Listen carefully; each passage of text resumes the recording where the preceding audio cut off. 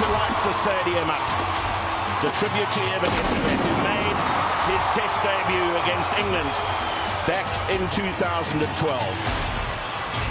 Who won a hundredth cap against Wales in Cape Town in 2022 when his wife Anlia was on hand to sing the national anthem.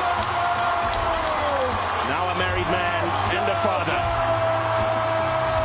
Walks out ahead of his teammates onto the Mbombela turf to surpass Victor Matfield's record and win Test cap number 128. Followed out of the